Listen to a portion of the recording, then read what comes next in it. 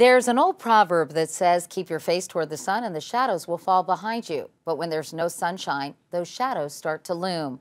This long snowy winter has brought a seemingly endless string of gray days, and for many that means gray moods as well.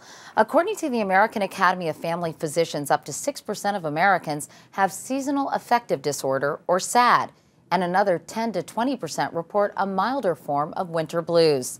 Some evolutionary biologists say feeling lethargic is a relic from prehistoric times when our ancestors had less food in winter and needed to expend less energy. If so, SAD has outlived its usefulness. These days, severe cases require light therapy or medication, while less serious ones can be fought with exercise or vitamin D, found in fish, milk, and eggs.